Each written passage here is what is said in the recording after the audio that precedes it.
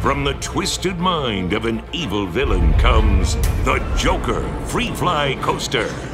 Like nothing you've seen before, with two beyond 90 degree drops, wicked flips, and fiendish inversions. The Joker Free Fly Coaster, coming to Six Flags Great America in 2017.